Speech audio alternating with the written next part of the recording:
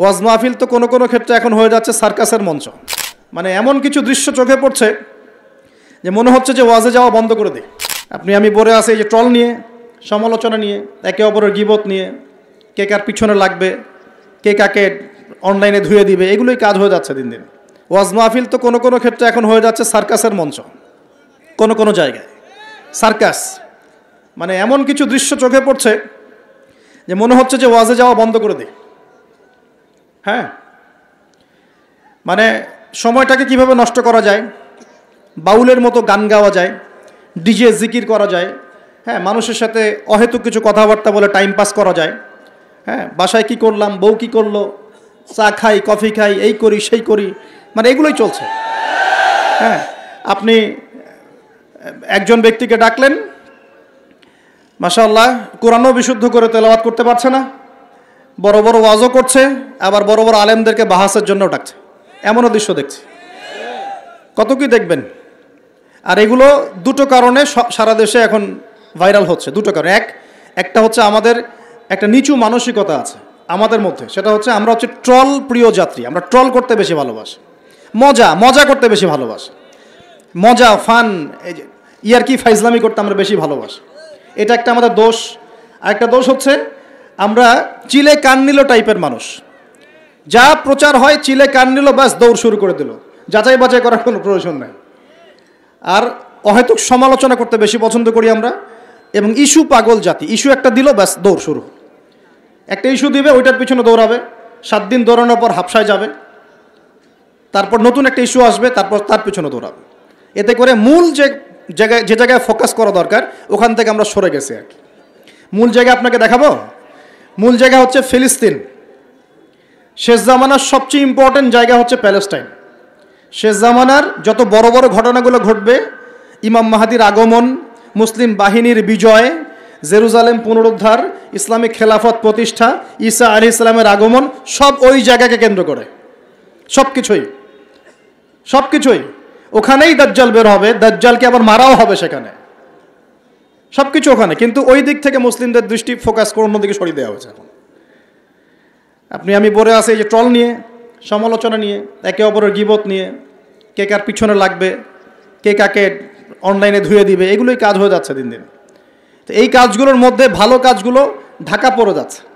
ভালো কাজ যে হচ্ছে না তা নয়, কিন্তু ভালো কাজগুলো এই কাজগুলোর মধ্য দিয়ে ঢাকা পড়ে যাচ্ছে। এটা আপনারা বুঝতে পারছেন না।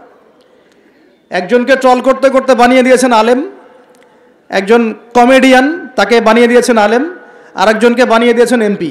আর কয়েকদিন আরেকটু হলে এমপি হয়ে যেত ট্রল করতে করতেই এই চলছে। তো আমাদের এই মানসিকতা পরিবর্তন করার দরকার নাই। কোরআন সুন্না কি খালি এখানে থাকবে, আমরা তেলাওয়াত করব এই জন্যই, নাকি বাস্তবে প্রয়োগ করতে হবে? এই রমজান মাসে নিয়াত করেন। আসন্ন রমজান কেন কথা বলছি? কারণ রমজান কিন্তু বেশি দিন নাই। কয়দিন আছে? এক মাস, দেড় মাসও বাকি নেই।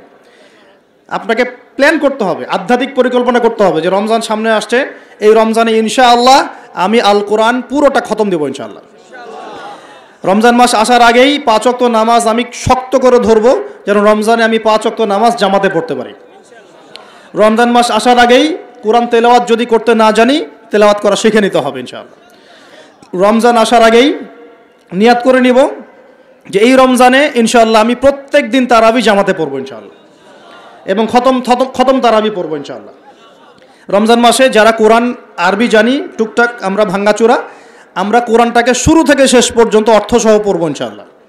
রমজান মাসে প্রত্যেক দিন কমপক্ষে একজন মানুষকে আমি ইফতার করাবো ইনশাআল্লাহ।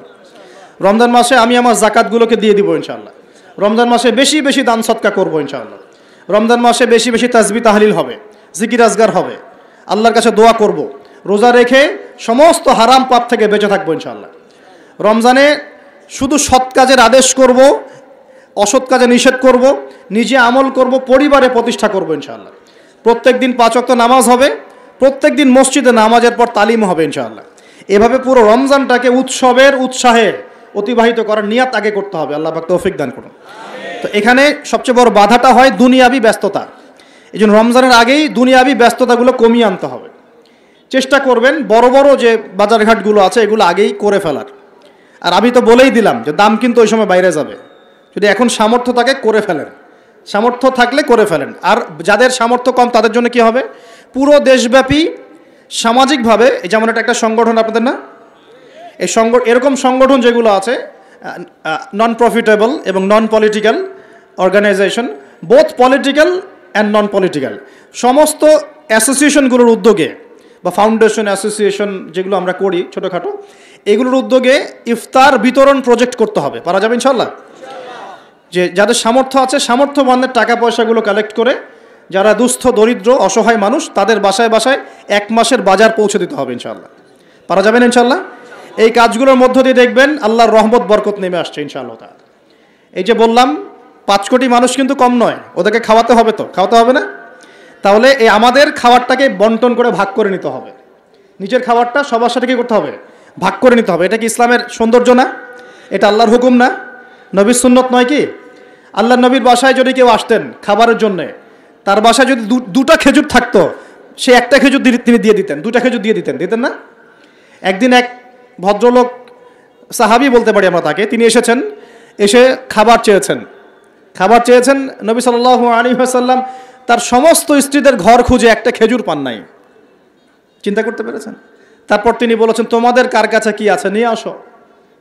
এরপর নবী সাল্লাল্লাহু আলী আসলামের সাহাবিরা যার ঘরে যা ছিল অল্প অল্প করে নিয়ে আসা শুরু করল। দেখা গেল যে মসজিদ নববীর বারান্দায় খাবারের স্তূপ হয়ে গেল একটা। মাশাল্লাহ এই যে একের বিপদে সবাই এগিয়ে আসা, এটা ইসলামের সুন্নত। এটাই নবীর সুন্নত। রমজান মাসে এই জিনিসটা চর্চা করতে হবে, আল্লাহ তৌফিক দান করুন।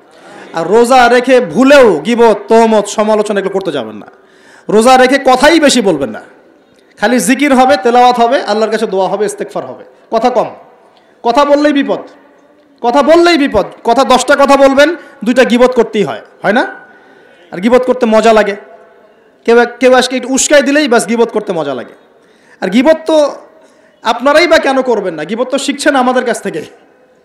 গিবত তো আপনারা আমাদের কাছ থেকেই শিখছেন। তা আমি আমি আপনাদেরকে কী শিখাবো? আমরা আপনাদের কী শিখাইলাম? ওয়াজ মাহফিলে উঠে একজন বক্তা আরেকজন বক্তার গিবত না করলে ওয়াজ হয় না। এক আলেম আর এক আলেমের পিছনে পিছনে হাত না দিলে ওয়াজ হয় না। তা আমি কি শেখাবো আপনাকে? আপনারা নিজেরা শেখেন। আমাদের, আমার দিকে তাকানোর দরকার। নিজেরাই শেখেন। প্রিয় ভাইরা রমজান মাসে রোজা রেখে এই কাজগুলো করতে যাবেন।